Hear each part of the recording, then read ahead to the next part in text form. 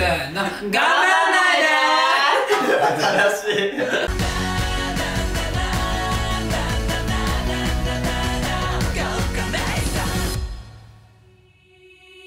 いらっしゃいようこそスナックエンビーガブリエラへ。ママのたかしです。川のひできずんです。ニセコの神です。3人合わせてエンディガブリエラですはーい。何やってきたんだね。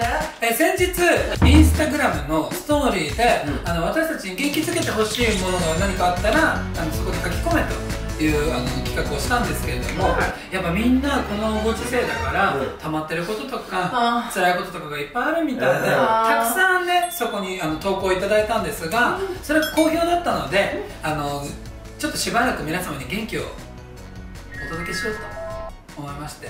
元気月間仕方なく元気分けてあげるわよということで、えー引き続き皆さんに頑張ってと言いたいと思います。肌がお年寄りになってきた。わかるよ。わかるよ。全部。重力に逆らっていこう。重力に負けたらダメ。ね？ね。重力に負けないですか？はい。せーの頑張って食べたいの食べて好きなことしてたらとっても太ったでも痩せる気ゼロカツ入れて。いいんじゃない？別に。確かしたいことしてそうなって痩せる気もないんだったらいいじゃん。ねノンストレスうん。カツ入れる必要もないですよ。そのまま太りなさい。親の彼氏とその友達が正直苦手。でも親の彼氏だし兄弟もめちゃくちゃよくしてもらってるから。わかる。すっげえわかる。あの彼氏の友達が苦手とかすごいわかる。あるあるよね。あるあるあるある。あの昔付き合ってた彼の友達が前言ったからなんかすごい彼の悪口を言う人だったの。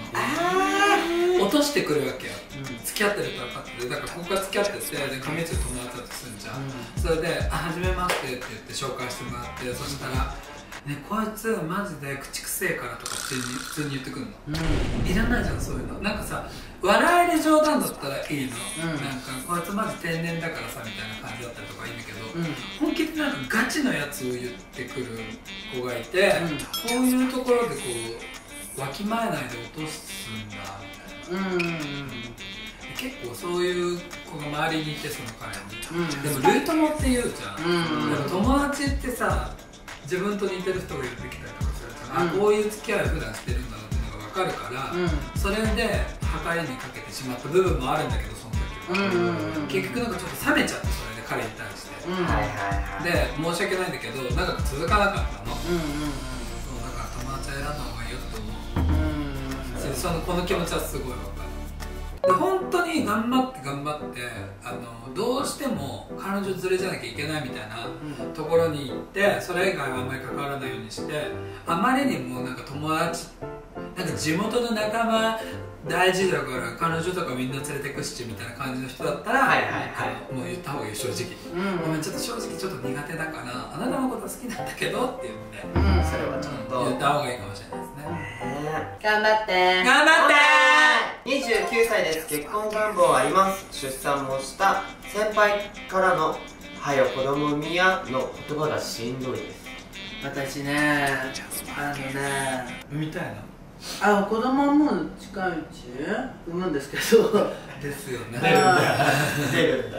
えやっぱりねあの子供とか考えてんのとかいろいろご夫婦とかさいらっしゃるじゃん。もうね、うんうんうん。聞かないようにした最近。やめた？そういうの聞くの。だってさ聞いてる方はさ他愛ないじゃん、うん。なんか、うん。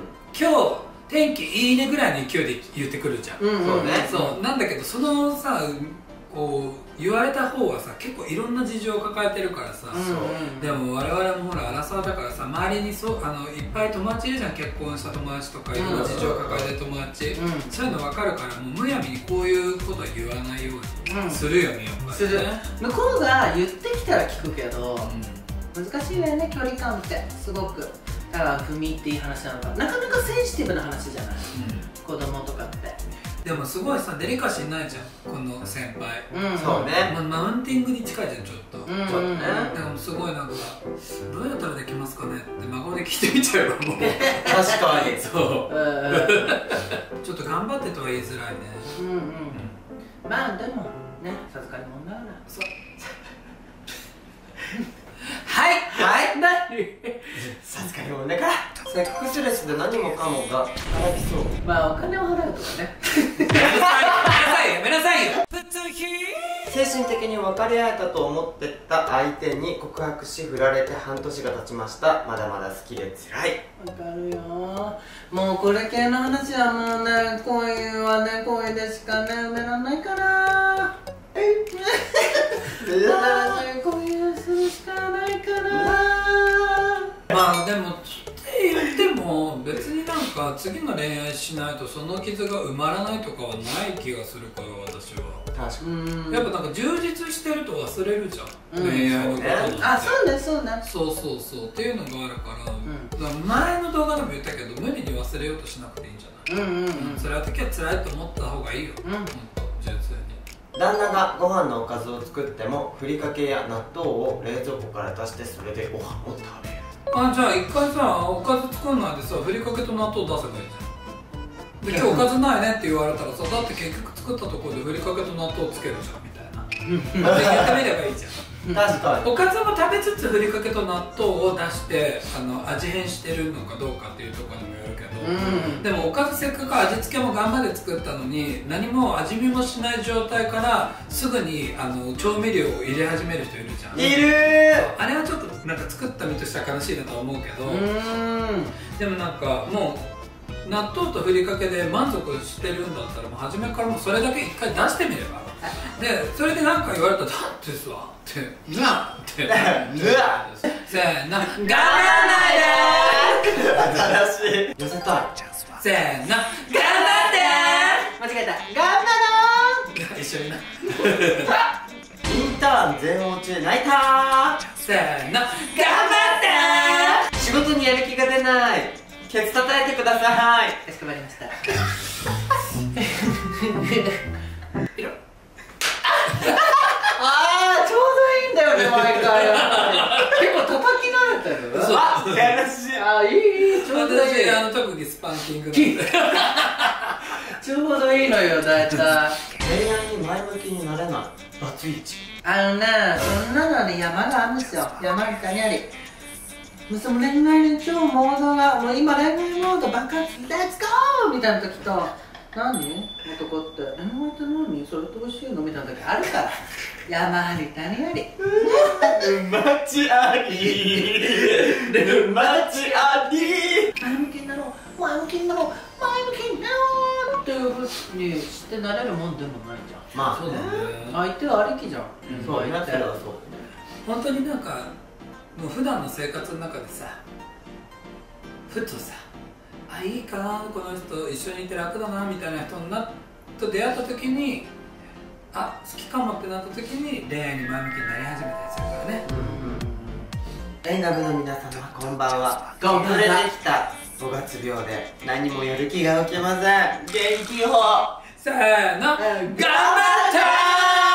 5月病って遅れてくるもんなのまあちょっと時差ボケ？みたいな実は僕アメリカ長かっそれかこの季節だとあの熱中症の疑いもあるんですよ。あそうねなのであの本当に5月病このだるいな5月病とかを持ってて気絶する前にあの水分を取る。うんということは忘れないようにしてください。たにねはいそうです。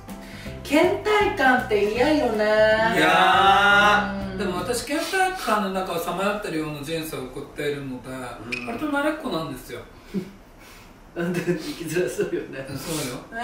そうそう。そういいのよ。身を委ねればいいの。あ。倦怠感に。なるほど流れに。身を任せあなたの色に染められればいいの。ああウェリバリバリそれ全然違うバよ。ーポリパリパ何も違ったよね。どっからどっからだは美人はいもう前お墓の中でお眠りなさい